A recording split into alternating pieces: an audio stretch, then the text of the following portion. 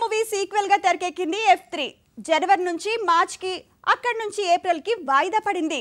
ఇప్పుడు కొత్తగా మే ఇరవై ఏడుకి వాయిదా పడాల్సి వచ్చింది. ఇంచుమించు ఇలానే వాయిదాలతో నెట్టుకొస్తోంది మేజర్ మూవీ. గని మాత్రం మళ్ళీ వాయిదా పడొచ్చునంటున్నారు. ఇలా డైలీ సీరియల్లా వాయిదా పద్ధతిని ఫాలో అవుతున్న సినిమాలే ఇప్పుడు పోటీకి దిగాల్సి వస్తోంది. F two sequel F three ఎప్పుడో సంక్రాంతికి రావాలి. కానీ పాన్ ఇండియా మూవీస్ కోసం వాయిదా వేశారు.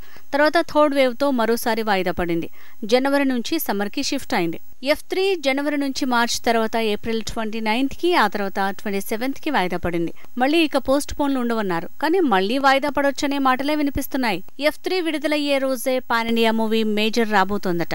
ఈ సినిమా ఏప్రిల్లో అనుకున్న చివరికి మే ట్వంటీ సెవెంత్కి ముహూర్తం కుదిరిందట. దీంతో పోటీ ఫిక్స్ అయినట్టే అంటున్నారు. మార్చిలో విడుదల అన్న గని వాయిదాకి రంగం సిద్ధమైందంటున్నారు. ఏప్రిల్ కాదు మే ట్వంటీ సెవెంత్ కే గనీ మూవీ రిలీజ్ అంటున్నారు. వరుణ్ తేజ్ ఎఫ్ త్రీ విడుదలయ్యే రోజే గనీ రిలీజ్ కాదని అయితే ఎఫ్ త్రీ వాయిదా పడే అవకాశాలు ఉండటంతో గనీని మేకు మారుస్తున్నారని ప్రచారం జరుగుతోంది. కానీ ఆ రోజు మేజర్తో వరుణ్ చేసిన ఏదో ఒక సినిమా పోటీ పక్కా అయ్యేలా ఉంది.